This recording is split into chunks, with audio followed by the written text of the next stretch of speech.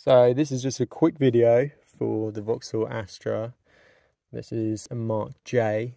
I'm just taking off the door panel and I don't have a removal tool for this but what I do have is a rag and that's all you need to be able to take it off. I'm just going to show you.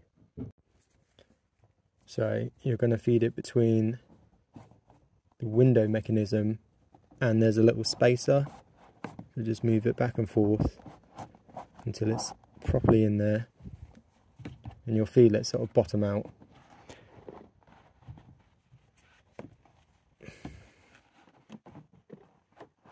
So that's as much as I can get it on.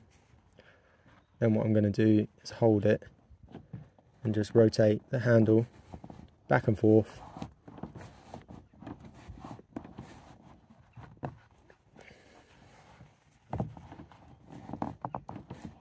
until I hear that pin click. Which might take a few bits. There we go. And now it's off. And you've got your spring washer or clip, spring clip, your spacer, and your window mechanism. There you go. And then the reverse is quite simply just put it back in position and put that and shove it all back on.